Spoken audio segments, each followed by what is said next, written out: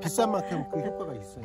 한약 비슷한 냄새랑 과양 비슷한 냄새랑 납니다. 전반적으로 잎사귀에 네, 왼쪽 이파리 아, 한 바퀴 한, 한쪽만 쭉 나가실 겁니까? 네.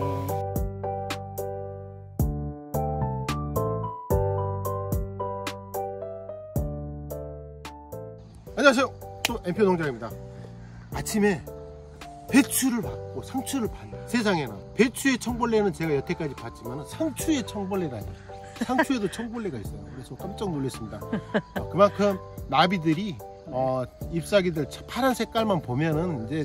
색- 번식을 위해서 알을 낳거든. 그 알이 부화되면 뭐다 청벌레, 애벌레가 돼서 이 애벌레들이 배춧잎이나 상추잎, 그 다음에 다양한 농작물에 잎들을 갉아 먹는데 특히나 좋아하는 작물들이 있어요. 배추, 무잎하고 배추, 상추, 음, 배추. 이런 것도 정말 좋아해요. 추자를 좋아하는군요. 특히나 배추를 좋아합니다. 그래서 배추 속이 지금 겉에는 되게 파릇파릇하니 너무 이쁜데 네. 안에 보면은 조그만하게 아주 그냥 뭔가 똥들이 알을. 보인다. 잎사귀가 살짝 갈겨져 있다. 네. 그럼 분명히 그 안에는 애벌레가 있다라는 이야기예요. 절대적으로 있어요. 절대적으로.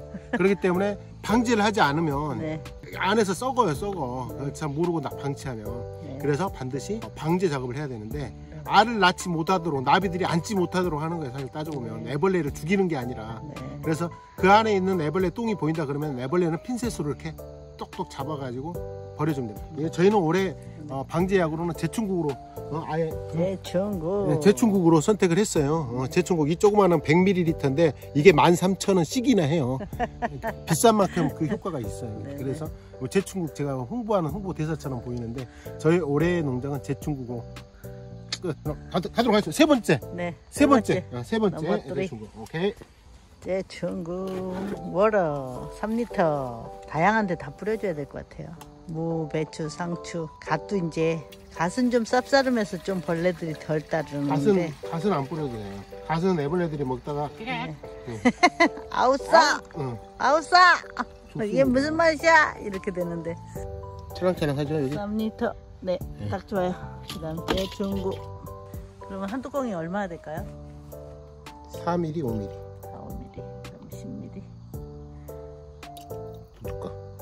8에서 10mm 정도 넣는다 생각하시고 한약 비슷한 냄새랑 과양 비슷한 냄새랑 납니다. 사람 인체에는 전혀 무해합니다. 곽과의 꽃인가 봐요. 제 그- 중국이. 곤충이나 벌레들을 네. 그 신경을 마비시키는 그런 작용을 한다고 그래요. 음, 신경을 마비시켜서 얘네들이 움직이지 못하게. 음. 그런 성분이 있다고 합니다. 사용감 괜찮으신가요? 괜찮습니다. 이렇게 나는 나름 한쪽에 이렇게 딱 내고 네. 만 원의 행복. 어우 배추가 잘 자랐어. 똥이 보입니까? 벌레들이 이렇게 먹었습니다. 살짝 콩 먹은 애도 있고 깨끗한 애도 있고.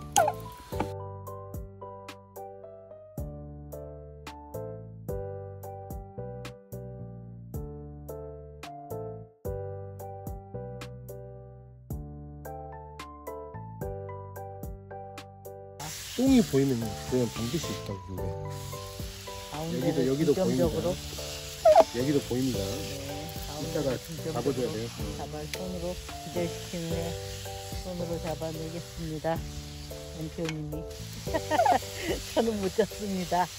아 둘러가죠. 네. 여기도 똥이 있어요. 여기. 네. 배추가 겉으로는 멀쩡해 보여도 맞아요.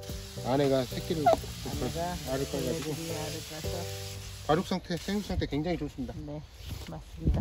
어, 배추 사이에 있는 애들도 잘 자라긴 하네요. 잘 자랍니다.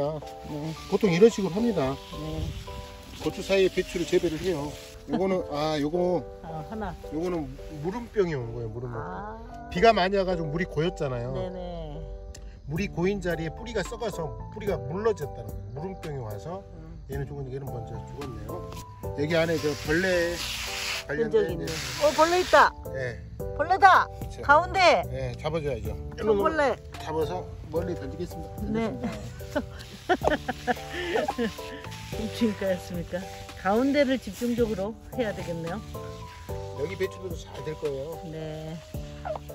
그러네요. 날이 갈수록 파릇파릇해지네요. 아우, 이렇게 많이 뜯어 먹었습니다. 배추를 고추 사이에 있는 배추를 여기도 똥 있잖아요. 네 여기도. 어딘가 어딘가 있겠죠. 얘는 엄청 뜯어 먹겠습니다. 이거 먹는 똥이 없잖아요. 네. 잡은 거예요. 아, 멘토님이 잡으셨다고 합니다. 똥이 다. 먹었습니다. 다 먹었습니다. 세상에. 이 커가는 배추를 어렸을 때 이렇게 다 먹어버리면 자랄 수가 없으니 이거는 그래도 살을 수 있어요. 네. 그나마 안에서 나오고 얘는 있어요. 영양상 때 좋을 것 같아. 뭐가 네. 네. 어, 전반적으로 배추에 네. 어, 재충국을 제가 3차로 지금 이제 방제 작업 처리를 했죠. 네. 병해충 방제 작업은 반드시 필요합니다. 네. 어, 특히나 이제 배추 같은 경우는 청벌레가 먹기 시작하면은 네. 어, 정말 엄두가 안 나요. 안 나와요? 꼭 먹은 자리에 또 알을 낳아요. 거의 아. 대부분 그렇대요. 어, 특이한 이유는 잘 모르겠는데 여태까지 제 경험상 네. 그래서 재충국으로 저희가 어, 올해는 이제 처리를 하고 있는데 네. 나름대로 현재 어, 생, 생육 상태, 발, 발육 상태 굉장히 좋습니다. 네. 배추가 잘 자라고 있죠. 네. 그래서 올해 저희가 100포기 정도 심었는데 네. 대략 한 7, 80% 이상은 음, 정상적으로 수확하지 않을까. 한 80% 이상은 수확하지 네. 않을까 싶습니다. 무에 제충국 뿌리는 엠피오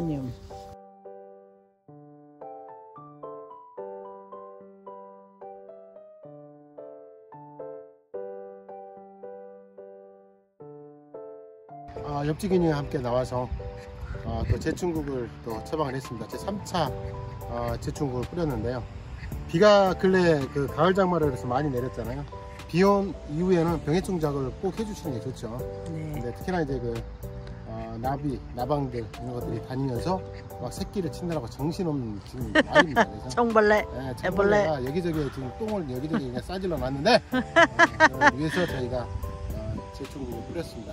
네. 청벌레들 이 살아있는 녀석들은 응. 이 재충국으로 잘 안 죽어요. 네. 물론 이제 마비 돼가지고 잠깐 움직일 수 없어서 굶어서 죽을지는 모르겠으나 그렇지 않습니다. 청벌레도 똥 싼 자리들 응. 똥 쌌다는 거 좀 전에 먹고 얘네들이 응가를 했다는 얘기거든요. 그러니까 반드시 있어요, 반드시. 네. 똥 싼 자리. 입은 갉아먹었는데 똥은 안 보인다. 그런 건 잡았던 자리예요. 네. 구분하셔서 별내까지 꼭 잡아주는 작업 마무리 하시면 될 것 같습니다. 네. 아, 이렇게 상쾌한 아침에 옆지기님과 즐거운 아침을 시작합니다. 오늘도 행복한 하루 되십시오. 감사합니다. 이상 엠피농장이었습니다. 구독, 좋아요, 댓글은 엠피옥의 큰 힘이 됩니다. 감사합니다. 감사합니다. 해보고 때 좋은 하루 보냈어요.